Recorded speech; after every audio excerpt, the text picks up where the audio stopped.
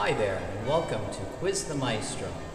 I am Denis Mastromonaco, Music Director of the Mississauga Symphony, and this is our bi-weekly video blog. Also, if you send us your questions, you will have the chance to win tickets to our next concert.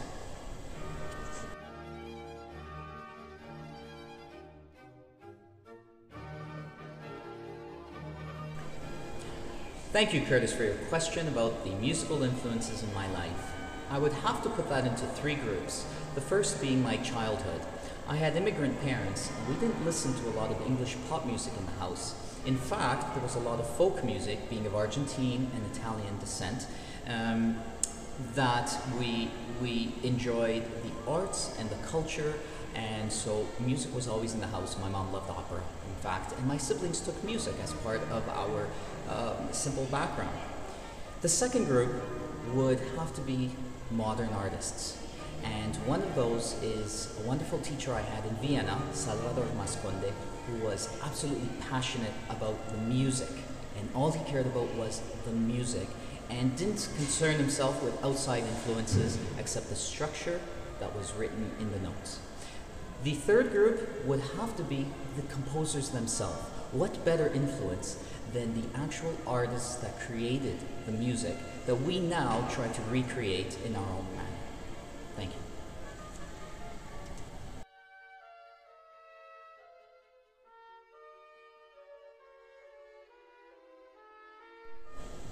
Thank you, Chris, for your question about my favorite version of Ave Maria.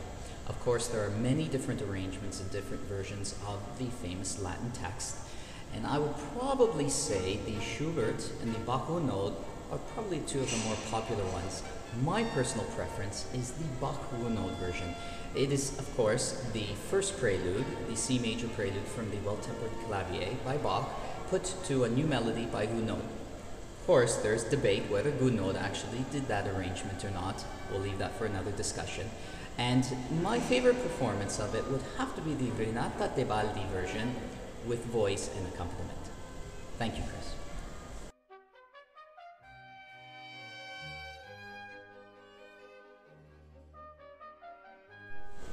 Thank you, Nielsen, for your question about what is the difference between absolute music and program music. Program music is a composition that is written about non-musical events, scenes, settings, or subject matter. On the other hand, absolute music is music for the sake of music. The primary goal is the structure and the technical aspects of the music, the melody, the rhythm, the harmony, and the formal structure of the music. There is some discussion whether uh, some believe that absolute music is really the purest art form because they feel that non-musical elements actually interfere with music. And so the debate continues whether absolute music or program music appeals greater to audiences versus the appeal of the purity of the art form.